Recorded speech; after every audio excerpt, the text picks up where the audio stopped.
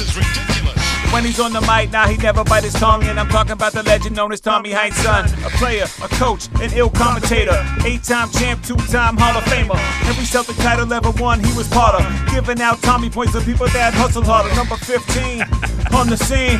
Bleeding green for the team. Played with Russell, the Cooz, and Havlicek. And you won eight titles, am I right? Uh, correct. Always blowing off, steam and going off. You small time, he's all time at Holy Cross.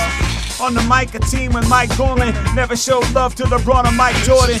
Yeah, it's esoteric coming at you. Boston Mass, we need a Tommy Heinz statue.